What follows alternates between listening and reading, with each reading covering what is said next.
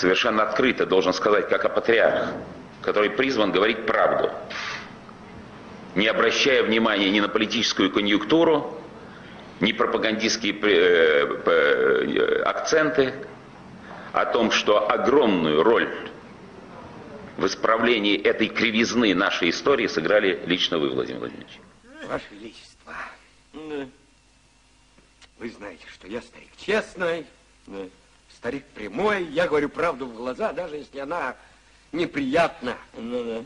Я ведь, Ваше Величество, стоял тут все время, видел, как вы, грубо говоря, встаете, слышал, как вы, откровенно говоря, смеетесь и так далее.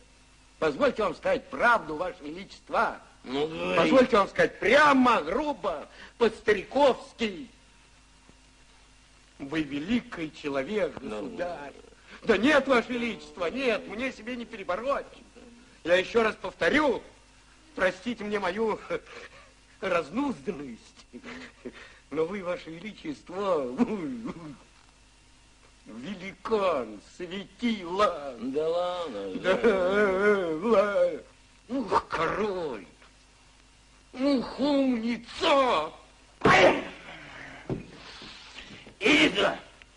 Дай тебя поцелую. Никогда не бойся мне говорить правду прямо в глаза.